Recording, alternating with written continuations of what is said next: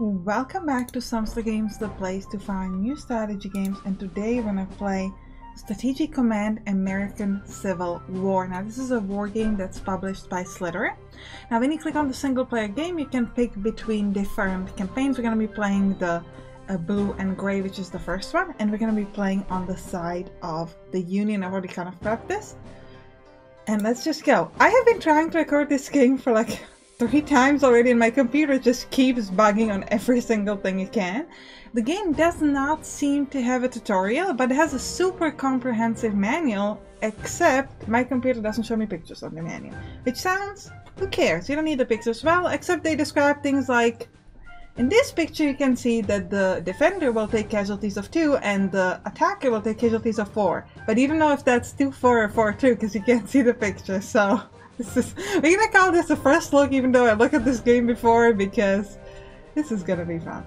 Alright, uh, so here you can do some setups like how you want to view these things like national colors, 3D units. You definitely want the messages and the last turn summaries and obviously fog of war, weather, that kind of thing. Could remove undo moves, but why not? And we'll keep everything the way it is. So let's just, you could also go into advanced, add some additional text if you wanted to, but we're just gonna keep it the way it is.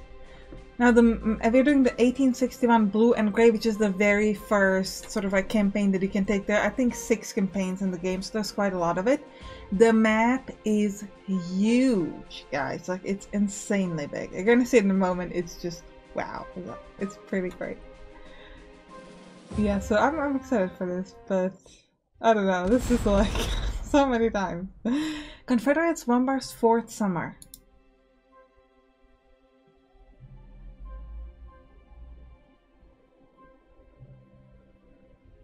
So the, we start off with the Confederate turn because I picked the Union instead of the Confederate, which was the basic uh, thing to go, so we have to wait. Confederates celebrate the succession of Virginia.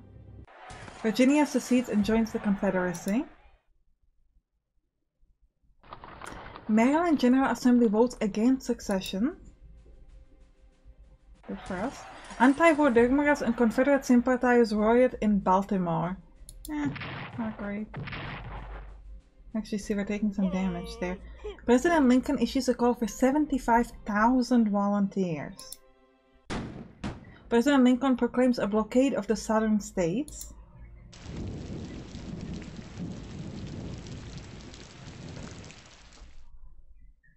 Okay. Confederates bombard Fort Sumter, so we could actually click on these two things again if you wanted to, but we kind of already read it, so very good. Okay.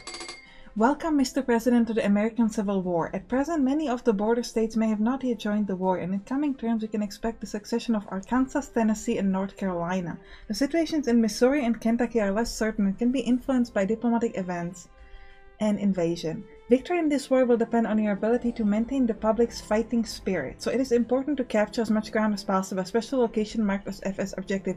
The fighting spirit, if you get it down to less than 10%, then the opposite side loses. And if yours gets up to less than 10%, you're dead. You can see it in the victory conditions when you pick the campaign. If this is your first time playing, we strongly recommend you to read through the game strategy guide. We have provided some tips and tricks to help you plan your campaigns, although we encourage you to try out your own strategies as well. Yeah? Mr. President, the enlistment of tens of thousands of volunteers has placed unprecedented demand on our arsenals, and our quartermaster reporting that a shortage of weapons is imminent as our Prevor stocks are depleted. While in the long term we expected increased production at our facilities in Springfield MA to supply our forces, mobilizing these resources will take time. To alleviate these shortages, our quartermasters have begun sourcing weapons and ammunition from markets in Europe. For the next 10 turns we will receive 200 MPPs each turn as this equipment reaches our shores. Secretary of War. The state of Missouri is deeply divided. Although much of the state's population seeks to remain neutral, Governor Jackson sympathizes with the rebel cause and may attempt to take his state out of the Union. In order to prevent Missouri's succession, we can order federal forces into the state to secure the St. Louis arsenal and then crush any secessionist militias that may be raised by Governor Jackson. This would ensure that Missouri joins the Union following the occupation of Jefferson City, although a bold action will surely cause some alarm in the neutral state of Kentucky. If we keep our forces out of Missouri, the state will remain neutral until the state government votes on this issue or is invaded. As long as Missouri remains neutral, we will also receive grain shipments worth half of the state's MPP each turn. Would you like to order our forces to enter Missouri? Yes. So we're gonna go with yes over here. Uh, the way this uh, the states work is quite interesting because essentially if you walk into a state before when it's neutral it will immediately jump to the other side because it's considered an invasion. So the things you have to do is you have to kind of we're gonna see it with kentucky i think in a moment. Okay so they're concerned but uh, i think we're gonna be giving that to us very soon. Governor jackson raises per conferred missouri state guard. Okay. Um are we gonna talk about kentucky yet? Not yet. Okay. Not yet. Never mind. Um, so the Kentucky, uh, what I was trying to say is that we're gonna have an event soon with Kentucky where it's gonna tell us that we should uh, be ready to like go to Kentucky but not go in, otherwise they'll consider invasion. And you have to go near the river and you have to wait, and then when they get attacked by the Confederates, then they're immediately like, oh my god, we're getting attacked, please help us. And people just, oh, it just happens to be so convenient that we're just there and right next to you. Let's go help you. So that's, I think that's really funny that we're just going to be standing on the border and be like, just hang out. We don't want anything. And then they get attacked. They're like, oh, I'm right here to save you. No problem. Before the beginning of the rebellion, most of our small army was stationed at the various forts across the western territories. Although most of these garrisons are located in areas far from rebel states and thus will play no part in this war, those located in the Indian Territory are under direct threat from militias operating from Texas. In order to prevent the likely destructions of these garrisons, we can evacuate them to Fort Leavenworth with the help of the local Indian warrior Black Beaver. This will ensure their safety, although the rebels will surely capture Forts Cobb and Washita, and make the Indian tribes much more likely to side with the rebels. Uh, alternatively, if we order the garrison to maintain their positions, we will have a better chance to control the Indian territory and may be able to secure the help of some of the resident tribes. Note that if you order the garrison to remain, it will not be possible to move them until the Indian tribes have joined the war and they will require reinforcements to hold for any length of time afterwards. So if we evacuate them, they will be unhappy because we forced them to move, but we will save them. But they won't like us. Or we can just be like, you want to stay, stay. And then they'll... It's kind of strange because like we're saving them, but they're mad. Or we're not saving them and they're happy. So let's just not save them and keep them happy. That seems like a weird. It's like a feels like a weird choice. Like, but I can't move my garrison. Eh, I'm not gonna move my. I mean, if you don't want me to help you, because if I help you, you'll side with the rebels. So just stay. If you don't want me to help, I'm not gonna help. Like, no, no. Yeah, like you, you didn't. If you didn't want me, like, I'm not gonna put myself there. Okay, so we got some new units. Is that are we not gonna get the Kentucky conversation? Maybe we don't because I said yes on the Missouri. Is that it? Maybe that's it. Oh, so now we have to place our units, by the way, so we can left click to place, right click to cancel, so we're gonna place them uh, right into the capital, because why not? Uh, another one here, and another one there. And you can hover over here to see the strength supply of this unit and their remaining action points. Because we just put them in, they have no action points. No entrenchment and etc. But that's obvious. Oh, okay. This is the whole map. And you can just, like, I, I zoomed out like really far, but you can like really look at this map. This map is huge. Right, so Ohio River, uh, we've got Indiana, Kentucky right here. And, uh, okay, so this is...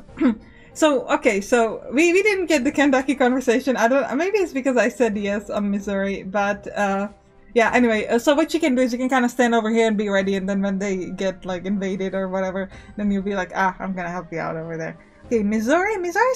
So it's like yeah, we we can't go in there yet because they technically haven't joined us just yet but we do want to do that soon. So I want to show you a couple things. So first, we're going to go into the war map. So this is the big map. But here, and this is super important, is the convoy map. So you can see, uh, you can actually click on this to see the specific convoy. But what's really cool is that you can actually like blockade these different... Let me just click this. I don't know if it's on or off. I guess now it's on. We definitely want this on. Just, yeah, okay.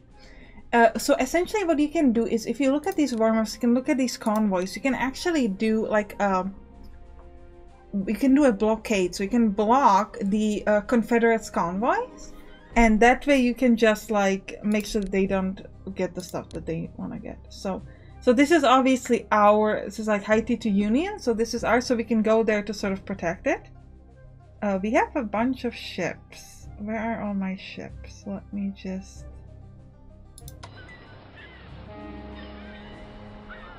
Okay, we have a ship here. Can't get super far. Go over here. I'm gonna kind of get ready to move down, try to maybe block some of their stuff.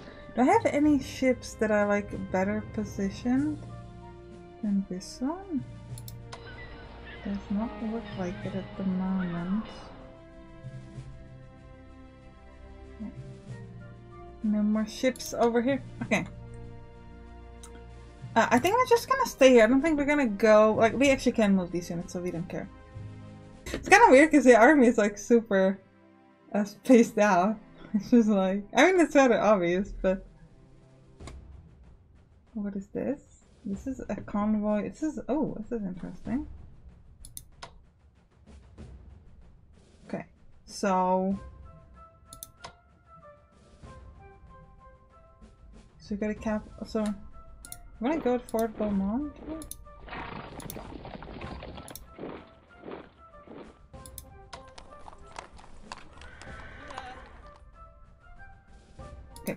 A couple more things I wanted to show you. So here, you can see the different, like the states and what they're leaning towards. So you can see if they're also already like, Missouri is currently Confederate, but we're trying to change that. And then Arkansas, and then you can see the other states, like how are they leaning. And then you can also declare war straight up if you just want to like go in.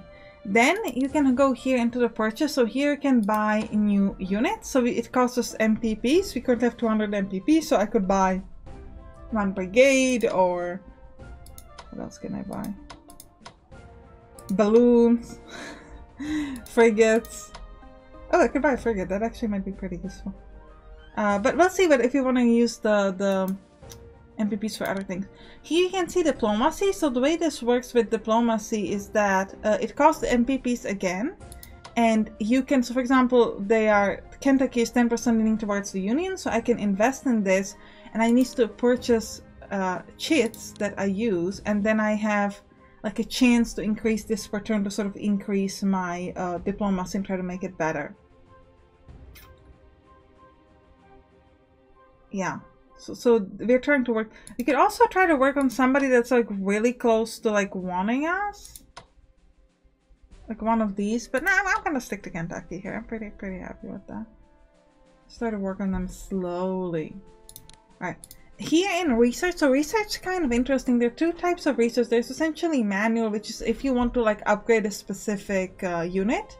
And then you have like automatic, which is what you see over here. And that's, for example, I can put um, stuff into, for example, here I have a naval tactic. So each level of naval tactic increases the MPP loss inflicted by raiding ships. All naval units also receive plus 10% unit morale. I can focus on spying and intelligence, logistics, and here you can see the description of what exactly that does.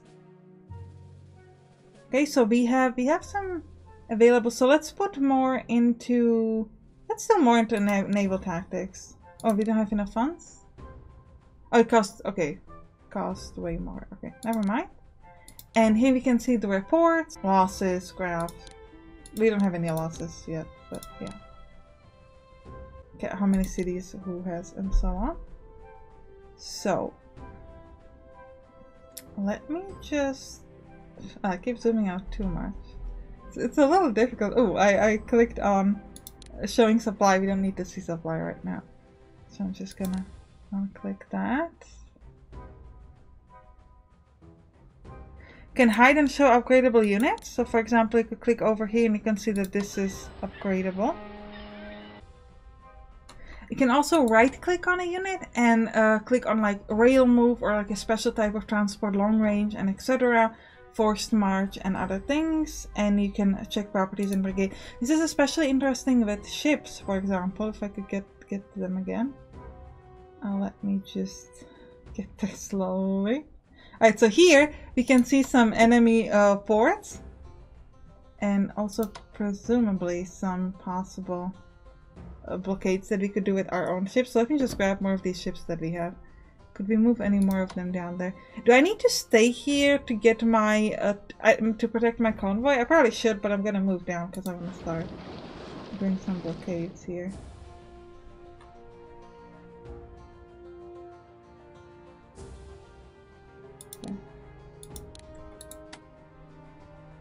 There was some way to show like better tips. I don't know if I can see that. So the the way this works that you can see like a convoy and you might be able to like there's like this um question marks and you can click on it and it will tell you information like you stand there you will block it etc these uh, arrows by the way are a way to sort of speed up your um your movement. If you walk through this you're going to be able to move faster. Yeah i propose i don't i don't know how to turn on the the tips. I know it's possible because I've seen other people do it. But I don't know why I can't do it. I know if I want to stay here, if you want to start moving closer to to Kentucky over here. I mean, I guess maybe we'll just move in. Doesn't seem like they're upset about us moving in so far. But we don't, we don't want to make them mad. I mean, wait, they're already with the Confederates, so it doesn't matter. We're trying to get them to join us slowly, but... Yeah, we already moved here. And this is a Union convoy, not a Confederate one, so we're good on that. I think we just wait to see what the enemy does. Uh, let's just end the turn here. Yeah, we can't do any research, so we just gotta wait on that. Yeah, Confederate's still celebrating the succession of Tennessee, yeah. That's like yesterday's news. I don't know why you're so excited. Uh, oh, North Carolina, okay.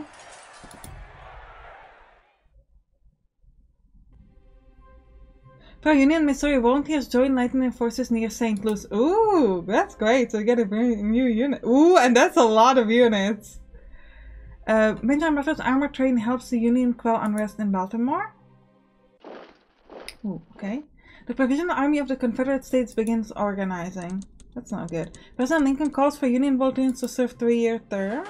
Okay.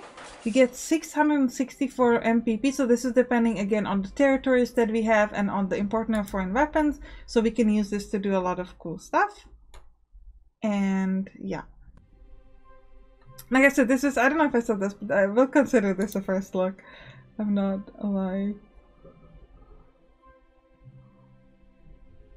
Anyway, we gotta wait for stuff to happen. Great Britain extends belligerent status to the Confederacy. Ooh, that's not good. In response to the blockade. I haven't done a blockade.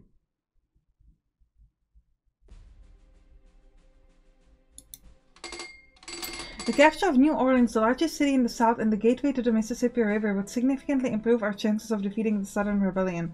To accomplish this, some of our commanders are proposing that we send an amphibious force escorted by river gunboats up the river to occupy the city.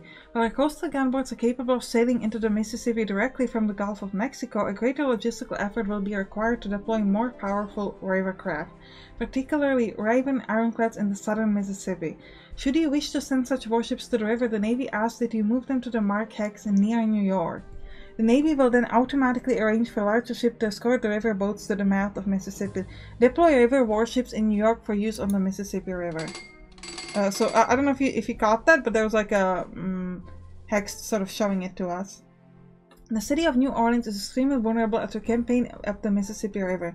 Situated merely a few feet above the sea level, the city relies on a system of leaves and dike to protect it from flood waters. In the I've never heard of this word. I don't know what that means, but okay. In the event that our uh, gunboats are able to sail up the river to the marked location at the city's edge, these defenses would be within range of our guns. While our analysts are still determining the likely effects of their discussion, it's likely that flooding New Orleans would have catastrophic effect upon the strength of the city's garrison. Fortunately, the effect of such an attack would only be temporary, and if we did not then move to quickly occupy the city, the rebels would surely reinforce the garrison. So they don't want us to bombard the leaves of New Orleans. Unless we have enough amphibious transport. You will be offered a decision event at the beginning of the first turn in which a Union warship occupies hex 96-128, which may only be accepted or denied once. If you attempt to destroy the New Orleans leaves, do not move any warships into this location until you are ready to launch the attack. Okay. So now we get our ships. Finally. I, I just want to do a blockade. so I want to show you. Uh, wait, where can I... Why, did, why aren't you showing me where I can place these guys? Uh... Oh, this isn't good. Oh, here. Good. Okay, that's fine. Okay. So grab my... Yeah, so essentially...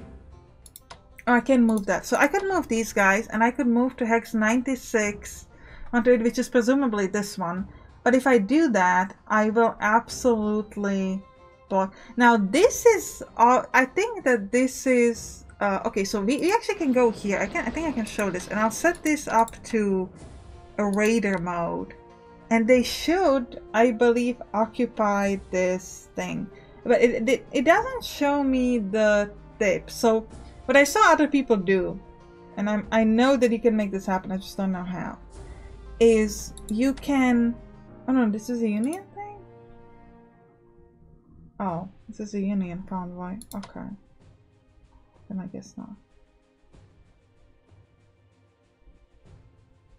Um, anyway, it, the, the, there will be like a market that will show you how to click on this. I don't think we want to do that yet. Like, we don't... We want to go?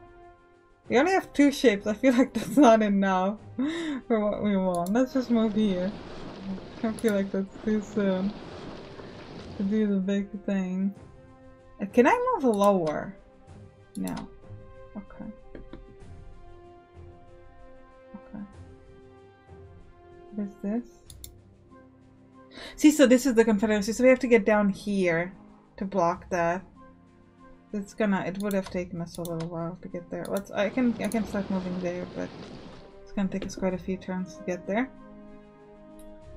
Now, where is, wait, I need to go to, this is kind of so. It seems like we can move, but I don't know. Let me check the war map. Missouri. It says it's still Confederates. How's, how's Kentucky, by the way?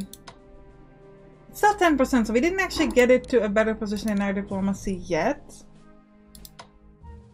And keep trying. Yeah, but if I want to like spend like way more than this? Oh, so I see. So it's just a chance of success per turn, but it uh, and it will increase it by three percent presumably. I see. I, I don't know how much it's gonna increase, but it's gonna increase the the diplomacy somewhat. So now we have a fifteen percent chance per turn. I don't know if we can actually walk through this. I feel like they're gonna be mad. yeah, enemy contact, okay. Okay, so here we can finally see our odds. Our odds are 1 to 1, so it's not going to be super helpful what damage we do. But yeah, you can see our, our strength is 10, their strength is 5, but they have better, and they have actually equal entrenchment now it looks that way. And they have 4 action points, and we have 0 action points, but we can...